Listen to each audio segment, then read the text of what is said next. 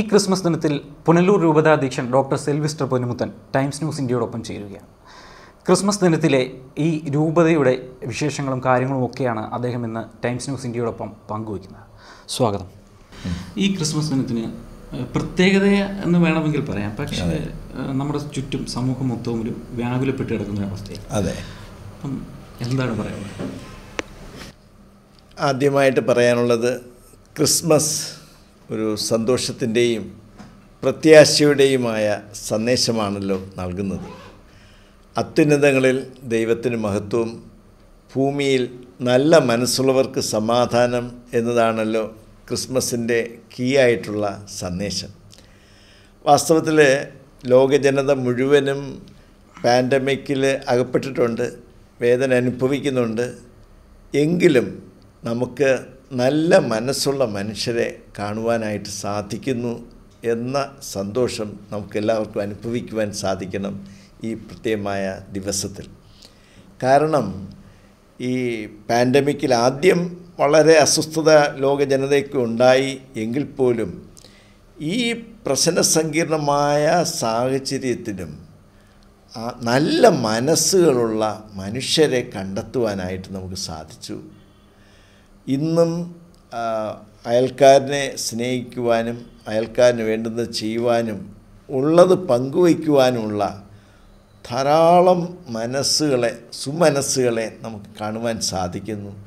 ഞാൻ പറയുന്നത് പ്രത്യേകതകൾ ഒരുപാടുണ്ട്. എങ്കിലും ഈ പ്രത്യേകതകളുടെ മധ്യത്തിൽ ഈ ക്രിസ്മസിന് വളരെ പ്രത്യേകതയായിട്ട് തന്നെ അനുഭവിക്കുവാൻ സാധിക്കുന്നു. നമുക്കറിയാം അല്ലോ ധാരാളം റെസ്ട്രിക്ഷൻസ് ഉണ്ട്.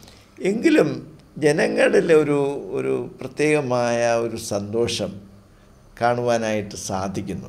അത് ക്രൈസ്തവരിൽ മാത്രമല്ല ലോക ജനതയ്ക്ക് ആഗമനം തന്നെ. തീർച്ചയായിട്ടും നമ്മുടെ ശാസ്ത്രജ്ഞന്മാരൊക്കെ വാക്സിനൊക്കെ കണ്ടുപിടിച്ചുകൊണ്ടിരിക്കുകയാണ്.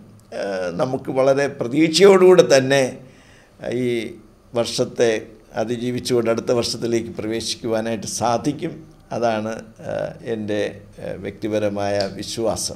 ഈ പുനലൂർ രൂപത എന്ന് പറഞ്ഞ വലിയൊരു രൂപതയാണ്. അതെ. എനിക്ക് തോന്നുന്നു മാവലിക്കര അടുപ്പിച്ച് വരേണ്ടതും. അതെ അതെ ആഘോഷങ്ങളൊക്കെ എങ്ങനെ പരിമിതപ്പെടുത്തി? നമുക്കറിയാവുന്നതുപോലെ നമ്മുടെ എല്ലാ സഭകളും എല്ലാ മതങ്ങളും ഗവൺമെന്റിന്റെ നിർദ്ദേശങ്ങൾ പൊതുവായിട്ട് അവർ സ്വീകരിക്കുന്നുണ്ട്. ഗവൺമെന്റും കാര്യങ്ങളൊക്കെ മനസ്സിലാക്കി മത നേതാക്കന്മാരുമായിട്ടൊക്കെ ആശയവിനിമയം നടത്തിക്കൊണ്ട് തന്നെയാണല്ലോ പല തീരുമാനങ്ങളും എടുത്തിട്ടുള്ളത്. അതിന്റെ പേരിൽ ആരും പരാതിപ്പെടുന്നതായിട്ടും എനിക്ക് അനുഭവപ്പെടുന്നില്ല. ഈ നമ്മുടെ പുനലൂർ രൂപതയെ സംബന്ധിച്ചിടത്തോളം എല്ലാ ദേവാലയങ്ങളിൽ ശുശ്രൂഷകളുണ്ട്. ചില പക്ഷേ നമുക്കിപ്പോൾ അവസരമുണ്ട് കൂടുതലായിട്ടുള്ള. കാരണം ഒരു സർവീസ് മാത്രമായിട്ട് നടത്തുമ്പോൾ എല്ലാവർക്കും വരാൻ സാധിക്കുകയില്ല. അതുകൊണ്ട് തന്നെ ഒരു ഓപ്ഷൻ എല്ലാവർക്കും ഉണ്ട്. ഈ ഇരുപത്തിനാലാം തീയതി തന്നെ സർവീസുകളുടെ എണ്ണം കൂട്ടാം. ഇരുപത്തി അഞ്ചാം തീയതിയും സർവീസുകളുടെ എണ്ണം കൂട്ടാം.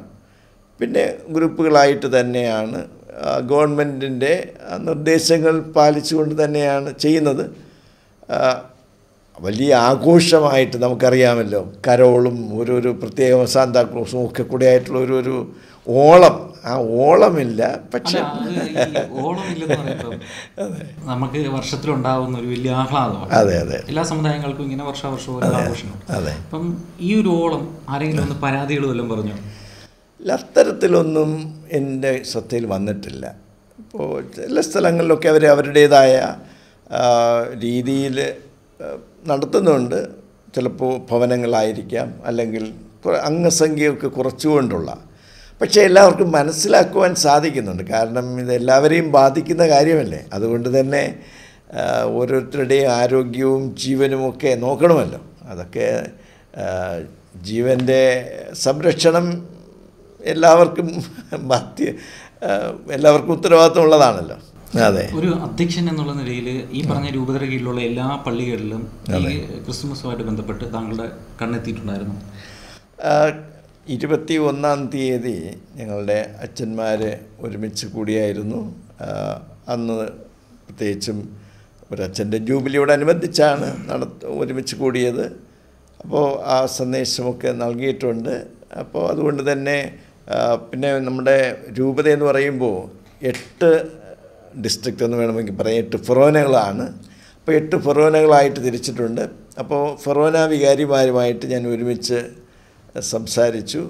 അപ്പോൾ അവർക്ക് തന്നെ നമ്മുടെ ഒരു വിശാലമായതുകൊണ്ട് തന്നെ എനിക്ക് എല്ലായിടത്തും പോകാൻ പറ്റില്ലല്ലോ അപ്പോൾ ഈ എട്ട് ഫൊറോന വൈദികരുമായിട്ട് സംസാരിച്ചുകൊണ്ട് തന്നെ സന്ദേശം നൽകുവാനായിട്ടുള്ള ആഹ്വാനം നൽകുകയുണ്ടായി. അപ്പോൾ അവരും അവരുടേതായ ചുറ്റുവട്ടത്തുമുള്ള വൈദികരുമായിട്ടൊക്കെ കൂടുന്നുണ്ട്. പിന്നെ നമ്മുടെ സന്യസ്തരുടെ ഒരു സമ്മേളനം അടുത്ത് ഈ കഴിഞ്ഞ പത്തൊൻപതാം തീയതി നടത്തുകയുണ്ടായി. അപ്പോൾ ആ രീതിയിൽ നമുക്കൊരു കമ്മ്യൂണിക്കേഷൻ ഗ്യാപ്പ് ഉണ്ടാകുന്നില്ല എന്നാണ് എന്റെ വിശ്വാസം. അപ്പോൾ നമ്മൾ ഇത്രയും ഈ ഒരു നാല് മിനിറ്റ് സംസാരിച്ചത് കോവിഡിന്റെ കാലഘട്ടത്തിൽ ഈ ക്രിസ്മസ് നമ്മളെങ്ങനെ ആഘോഷിച്ചു അല്ലെങ്കിൽ എങ്ങനെ ആഘോഷിക്കാം നമുക്കുള്ള കാര്യം. അതിൽ നിന്ന് മാറി ഇപ്പോഴും ഈ വിശ്വാസത്തെ അടിയുറച്ചു നിൽക്കുന്ന ആൾക്കാർക്ക് അറിയാൻ പാടില്ലാത്ത കുറേ കാര്യങ്ങളുണ്ട്. എല്ലാ മതത്തിലും അതെ. അതേപോലെ ക്രിസ്തു മതത്തിലും ഉണ്ടാവും അതെ. ഈ കേക്കിന്റെ അതായത് നമ്മുടെ മതത്തിൽ പ്രധാന ഒരു സംഗതിയാണല്ലോ ഈ ക്രിസ്മസിന് കേക്ക് മുറിക്കൽ. അതെ അതെ. അതെങ്ങനെ ഉണ്ടായിരുന്നു? അത് രസകരമായ അങ്ങനെ എന്തെങ്കിലും അറിയാമോ? അയ്യോ സുഹൃത്തെ എനിക്ക് അതിനെക്കുറിച്ച് പറയാനറിയില്ല. ഒരു സന്തോഷം പങ്കുവയ്ക്കുന്നതിന്റെ ഒരു അടയാളമായിട്ടാണ് അതിനെക്കുറിച്ച് എനിക്ക് വാസ്തവത്തിൽ കേക്കിന്റെ ഉത്ഭവത്തെക്കുറിച്ച് എനിക്കറിയില്ല. പക്ഷേ നമ്മളെപ്പോഴും ഒരു സന്തോഷം പങ്കുവയ്ക്കുക ആഹാരം പങ്കുവയ്ക്കുക ആ ഒരു അനുഭവമാണല്ലോ. അത് യേശു തന്നെ തന്റെ പരസ്യ ജീവിതകാലത്ത് വിശക്കുന്നവർക്ക് ഭക്ഷണം കൊടുത്തു. വളരെ ക്രൂഷ്യലായിട്ടുള്ള കുരിശുമരണത്തിന് തൊട്ടു മുമ്പായിട്ട് തന്നെ ഒരുമിച്ചിരുന്ന് ഭക്ഷണം നൽകുകയാണ്. ആ ഒരു പശ്ചാത്തലമുണ്ട്. പിന്നെ ശിഷ്യന്മാരെല്ലാം ഭക്ഷിച്ചുകൊണ്ടിരുന്ന സമയത്താണ് ഉയർത്തെഴുന്നേറ്റിട്ടും വന്നത്. അത് കഴിഞ്ഞിട്ട് യേശുവിന്റെ അത് വളരെ ആഹാരവുമായിട്ട് ബന്ധപ്പെട്ട ഒരുപാട് കാര്യങ്ങളുണ്ട്. അപ്പോൾ ആദിമ സഭയിൽ തന്നെ സഭ എപ്പോഴും പാവപ്പെട്ടവരോട് പ്രത്യേകമായ കരുതൽ കാണിക്കാറുണ്ടല്ലോ. കാരണം വിശക്കുന്നവന് ഭക്ഷണം കൊടുക്കുക വിശന്ന് ഇരിക്കുന്നത് പാപമാണ്. നമ്മുടെ സമൂഹത്തിൽ വിശപ്പുള്ളവരുണ്ടെങ്കിൽ അത് മറ്റുള്ളവർ ദൈവത്തിന്റെ മുമ്പിൽ കണക്ക് കൊടുക്കേണ്ടതാണ്. മനസ്സിലായി? പിന്നെ ഇപ്പോൾ പുനലൂർ രൂപതയുടെ പശ്ചാത്തലത്തിൽ എനിക്കൊരു സന്തോഷം പറയാനുള്ളത് ഇരുപത്തിനാല് ഇരുപത്തി മൂന്നാം തീയതിയും ഇരുപത്തിനാലാം തീയതിയും നമ്മുടെ രൂപതയുടെ സാമൂഹ്യ ശുശ്രൂഷയുടെ തന്നെ അതായത് പുനലൂർ സോഷ്യൽ സർവീസ് സൊസൈറ്റിയുടെ ആഭിമുഖ്യത്തിൽ എന്ന് പറഞ്ഞാൽ രൂപതയുടെ തന്നെയാണ് പാവപ്പെട്ടവർക്ക് രണ്ട് വീട് വെച്ച് കൊടുക്കാനായിട്ട് സാധിച്ചു. ഒരു കൈത്താങ്ങ് മുഴുവനുമല്ല കാരണം ഓരോ വീട്ടുകാരും ചിലപ്പോൾ സർക്കാരിന്റെ സഹായവും മറ്റുള്ളവരുടെ സഹായവും പക്ഷെ ഒരു ചെറിയൊരു കൈത്താങ് കൊടുക്കുവാനും ഇപ്പോൾ ഇന്ന് ഞാൻ ഇരുപത്തിനാലാം തീയതിയും ഒരു വീടൊക്കെ ബ്ലസ് ചെയ്തു ക്രിസ്മസിനോടനുബന്ധിച്ച്. ഇതിൽ വലിയ സന്തോഷമുണ്ട്. കാരണം പാവപ്പെട്ടവർക്ക് ഒരു നല്ലൊരു നല്ലൊരു വീടല്ല. സാമാന്യം തെറ്റില്ലാത്ത ഒന്നുമല്ലെങ്കിലും മഴ പെയ്യുമ്പോൾ ചോരാത്ത ഒരു വീട് താമസിക്കാൻ സാധിക്കുക എന്നുള്ളത് സന്തോഷമാണ്. അത് അവരുടെ അവകാശമാണ് കേട്ടോ. അപ്പം ഈ ക്രിസ്മസ് ദിനത്തിൽ നമ്മുടെ പ്രേക്ഷകർക്കായിട്ട് എന്താ പറയാനുള്ളത്? മാത്രമല്ല ഒരു പുതുവർഷം നമുക്ക് എങ്ങനെ അതിനെ നോക്കി കാണാൻ കഴിയും? എനിക്കിന്നൊരു മെ മെസ്സേജ് കിട്ടി. അതായത് കോവിഡ് വൈറസ് നമുക്കിപ്പോൾ തിരിച്ചറിയാൻ പറ്റുന്നില്ല അതിന്റെ ശ്രമമുണ്ട്. പക്ഷെ വേറെയും വൈറസുകളുണ്ട്. മനസ്സിലായല്ലോ?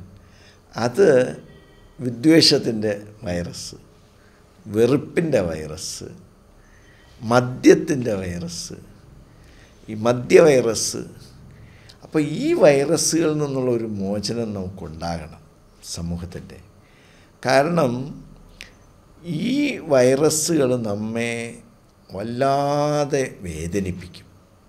ഒരു കൃമി അല്ലെങ്കിൽ വൈറസ് കൊണ്ട് കോവിഡൊക്കെ വരുമ്പോൾ നമുക്ക് അറിയാൻ സാധിക്കും. മറ്റതൊക്കെ അറിയാൻ സാധിക്കാത്ത രീതിയിലുള്ള പ്രശ്നങ്ങളാണ് ഉണ്ടാക്കുന്നത്. അതൊരിക്കലും നല്ലതല്ല.